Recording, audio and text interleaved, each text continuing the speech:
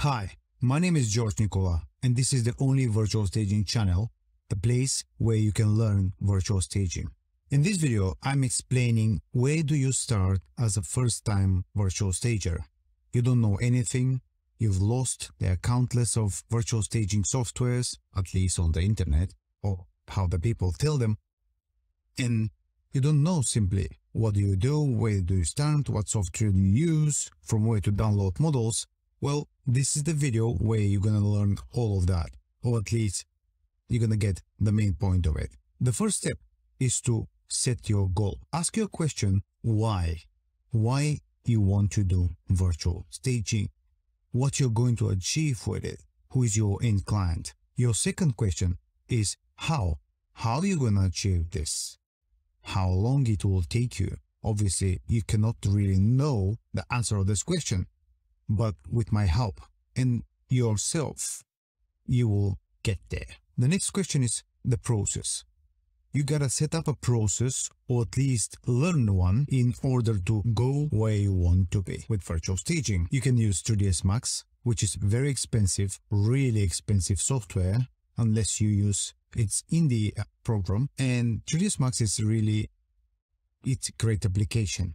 I use it every day and I've learned it, but it's not really easy if you're a beginner and it can overwhelm you with the complexity of all the tools and things. SketchUp. SketchUp, it, it was used to be free, now it's paid.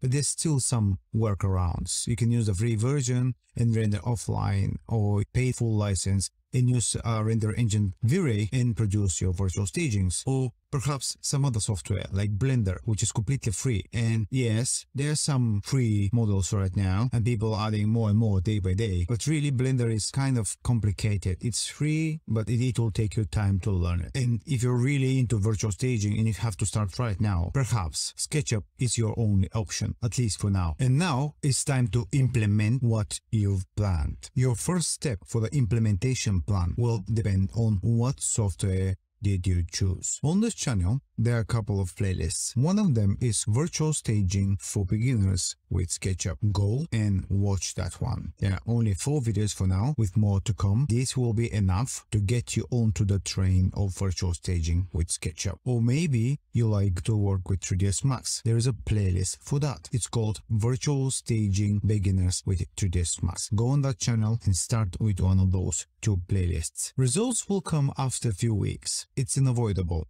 You should not expect to get some really nice results within the first few days or at least weeks. Some people do manage to get decent results on the second day or others get their results in few months or weeks.